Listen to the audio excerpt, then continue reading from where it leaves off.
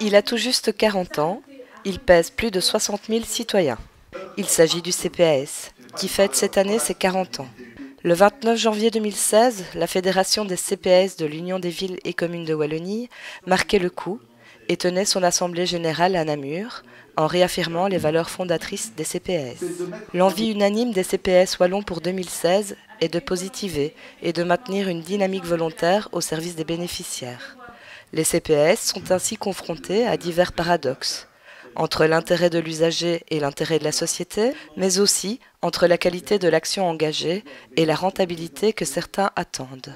Toutefois, la volonté exprimée par les CPS est d'aller de l'avant et de se retrousser les manches.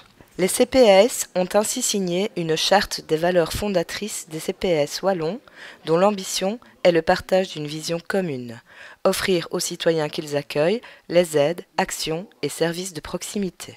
La Fédération des CPAS a aussi profité de l'occasion pour réserver une dernière surprise à son auditoire, en dévoilant la nouvelle identité visuelle, rafraîchie et colorée, pour marquer cet esprit résolument positif, cette flamme qui continue à animer les CPS de Wallonie. 40 ans, un anniversaire important, l'occasion pour les CPS wallons de réaffirmer leurs valeurs, car en 1976, la naissance du CPS fut celle d'une institution unique, la consécration de droits nouveaux qu'il faut, plus que jamais, à tout prix préserver.